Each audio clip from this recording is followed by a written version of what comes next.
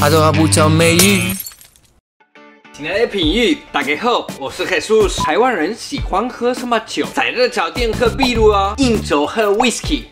开玩笑是不是？难道啤酒不是德国的吗？Whisky 是苏格兰吧？那加干台湾酒呢？你们忘记是不是？最能代表台湾的酒是什么？九口九把刀。阿妈，冷静冷静。呃，竟然这么冷，我需要喝五八金门高粱、太极拳、寺庙、霹雳布袋戏。外国人觉得很酷，喝国外的雕酒，台湾人会觉得很酷。外国人比较喜欢喝高粱，真的吗？没有人相信我。粉丝献爱送四本金门高粱，何志愿爱上高粱，李准基。哦，一口干。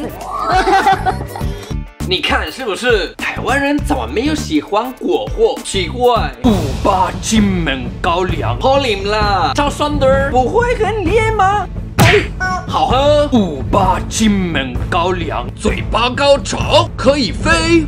天人合一，五八金门高粱，你是不是在帮他们打广告？嘘，但是你需要那么夸张吗？拍片很累，先休息一下啦。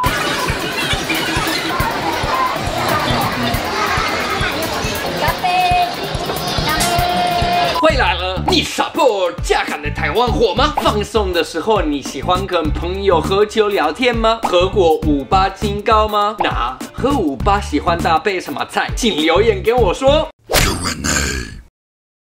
Hello，我是何穗，黑叔的哥哥，每个礼拜都回答你们的问题，看一下啦。黑鼠师要怎么上 Q&A？一问问题，二问有趣的问题，三有耐心，简单吧？黑鼠师拿到了 IG 吗？没有，你要送给我吗？